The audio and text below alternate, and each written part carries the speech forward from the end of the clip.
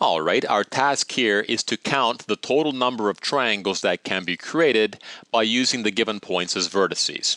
So here's one possible triangle, here's another, and here's another.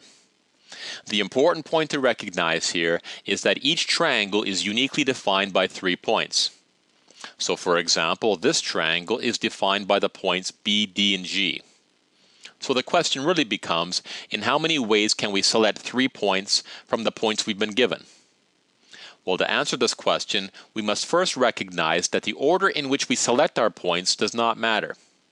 For example, selecting the points B, D, and G creates the same triangle as selecting the points D, B, and G. So since order does not matter here, we can solve this question using combinations. So we have seven points to choose from, and we must choose three of them. This can be accomplished in seven choose three ways. Now to evaluate this, we'll apply the following formula. And when we plug our numbers in, we get a total of 35 different triangles. So column B is greater than column A, which means our answer is B.